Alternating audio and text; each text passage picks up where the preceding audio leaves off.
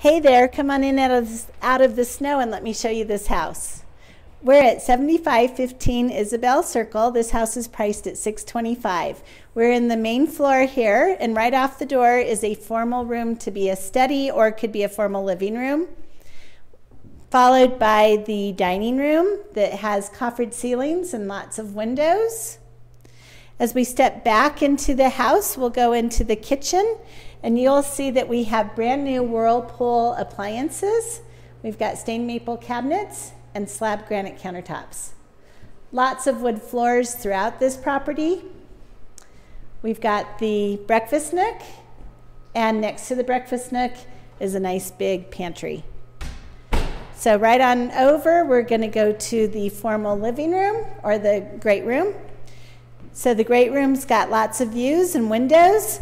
You can't really tell because it's snowing sideways right now, but across the street is a park that has lots of trails and a pond.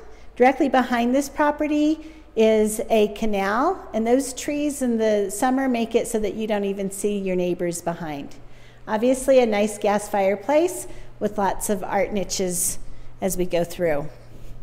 Going down to the basement, the basement is unfinished in this house, but I like how open it is and has kind of a interesting stairway. The door is down at the bottom of the stairs, so you just don't, it feels more open.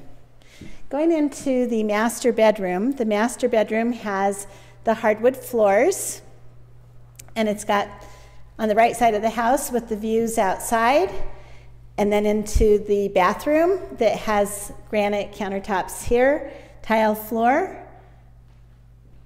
and it's got a huge closet.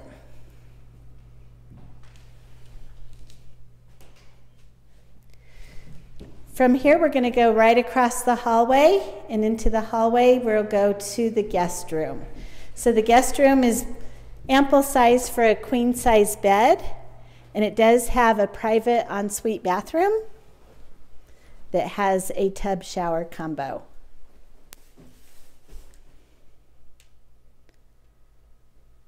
We're just going to walk the other direction and go back to near the front door where you will see the laundry room and the garage. The garage is two and a half bays. It's got plenty of room for a workbench. There's a half bath here.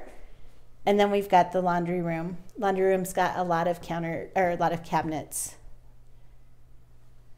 So that's it. If you would like more information on this house, you can give us a call or email us. Otherwise, thank you for joining me today.